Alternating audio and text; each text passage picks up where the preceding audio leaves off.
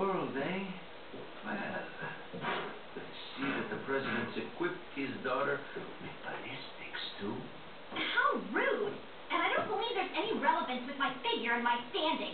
Who are you? Oh, oh, excuse me, Your Highness. Perhaps the young lady might want to introduce herself first before asking someone his name. Her name's Ashley Graham, the president's daughter. Is she... well, you know... Don't worry. She's cool.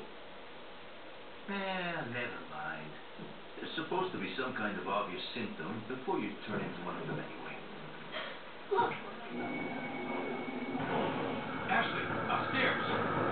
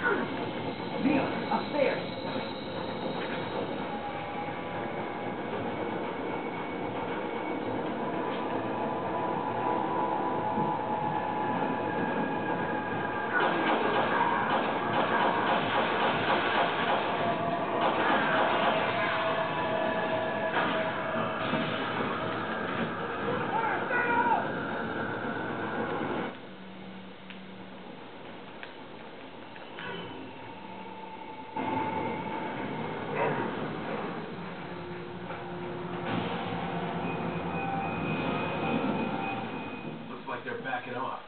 So, what do we do now? The bridge I crossed to get here is out. So I guess we have no choice but to keep moving. I forgot something. You guys go on ahead. Luis,